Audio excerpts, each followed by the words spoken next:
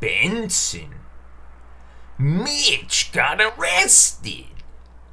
It all started when Starla came to my house.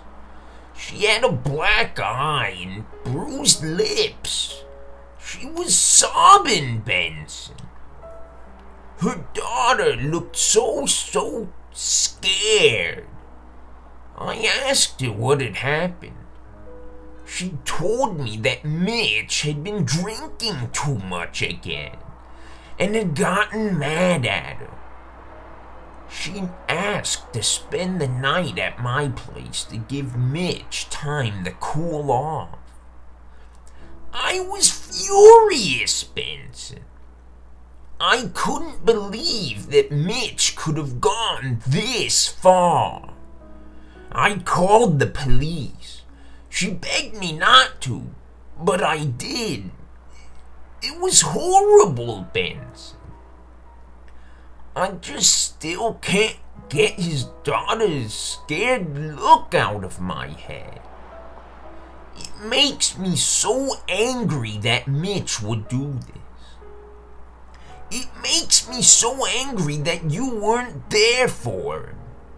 You were the one who helped him with his alcoholism all those years ago.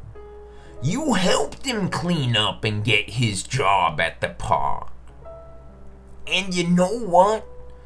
The whole ordeal got me thinking.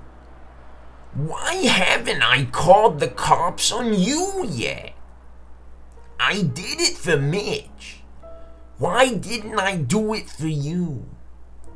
Maybe it's because I saw the petrified face of his daughter. Maybe it's because I've seen his work on Starla firsthand, while I've only heard whispers of your sins. Or maybe it's because I promised the old man I'd take care of you. And somehow I think it means not ratting on you.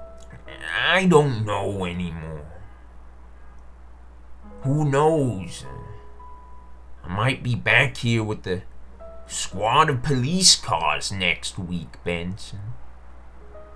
I guess we'll find out, huh? Goodbye, Benson.